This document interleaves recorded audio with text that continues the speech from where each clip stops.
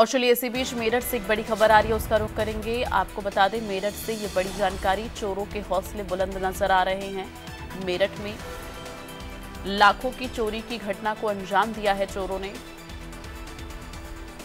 घर में घुसकर लाखों की चोरी की वारदात को अंजाम दिया है चोरों ने। सीसीटीवी कैमरे में आपको बता दें, चोरी की वारदात सीसीटीवी कैमरे में कैद हुई है। मामले की जाँच में फ़िलहाल पुलिस जुटी है।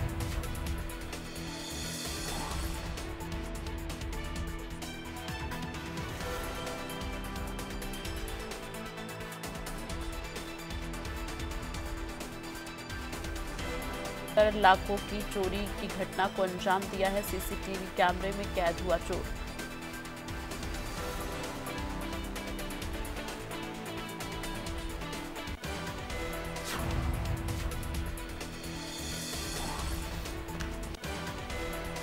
और